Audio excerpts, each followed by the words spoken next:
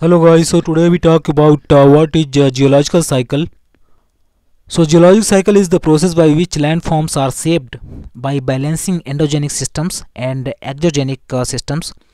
So uh, geologic cycle is a collective term used to describe the complex interaction between the subcycles like tectonic hydrologic rock and the biological cycling of elements known as uh, biogeochemical cycles so these various subcycles influence each other and produce natural hazards such as landslide, earthquakes, volcanic activities, flooding, groundwater flow and weather. So actually geologic cycle is a collective term uh, that uh, happens into the earth surface and uh, below the earth surface like uh, uh, tectonic activities, collision of uh, plate boundaries and uh, other processes involve uh, hydrogeological processes uh, rock cycles. So uh, see here this photo is actually showing uh, geologic cycle.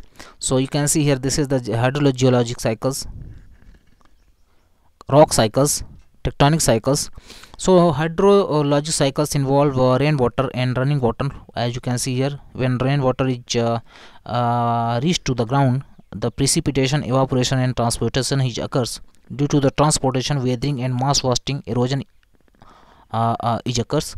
And finally the uh, weird rock and uh, other material is deposited into the basin or uh, ocean.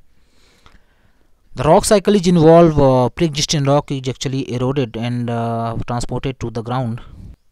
Igneous sedimentary metamorphic rock is forms as you can see here tectonic cycles is involved when two plates collide. The one plate is gone down and the magma is generated into the seafloor. So seafloor spreading is occurs. Mountain building and island arc is actually forms. So this whole uh, uh, component is actually involves into the uh, uh, uh geologic cycles.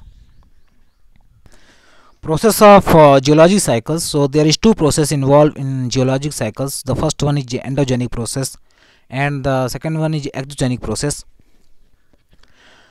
so endogenic processes happen internal to the earth. It is driven by heat from pressure and radioactive decay. Endogenic process involve fracture the earth surface, sets it uh, in motion, build mountain and uh, triggers volcanoes and earthquakes. Example is uh, tectonic cycles. Exogenic process happens external to the earth. It is uh, isolation, solar radiations Exogenic process gives energy to air, water and ice, setting them in motion under the influence of gravity. So, uh, example of exogenic process is hydrogeologic cycles. So, endogenic processes are uh, uh, two types, slow movements, uh, diastrophic and uh, sudden movements. So, slow movements involve vertical or epeirogenic uh, continental building, horizontal or orogenic mountain building and uh, sudden movement involve volcanism and earthquake.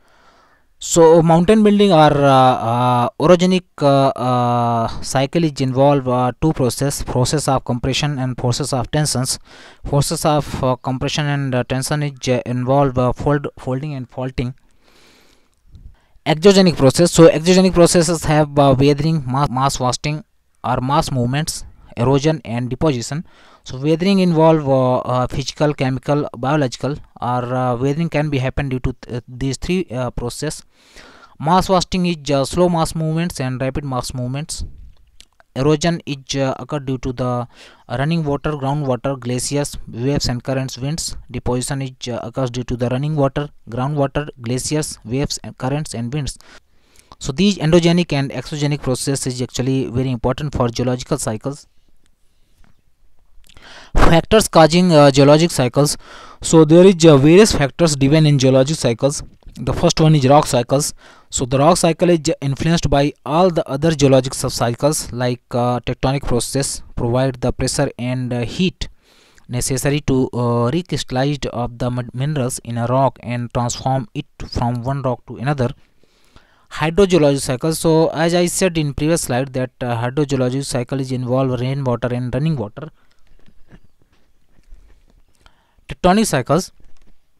So tectonic cycles is involve uh, uh, like uh, convergent plate boundary divergent plate boundary, boundaries and uh, transform uh, plate boundaries.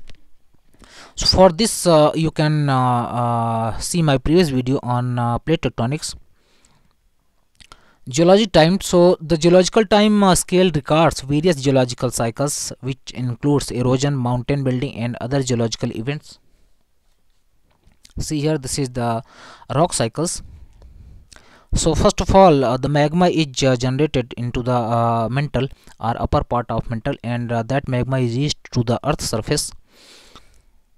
The extrusive or uh, intrusiveness rock is forms and that uh, rock is uh, uplifted to the outcrops. Then these outcrops is uh, withered and uh, eroded away and transported and deposited to the basins and or ocean these sediments after burial compaction and cementation become uh, sedimentary rock.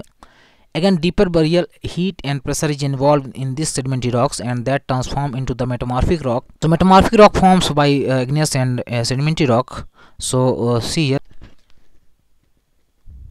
the burial process is occurs and uh, metamorphic rock is forms. So this is the rock cycles.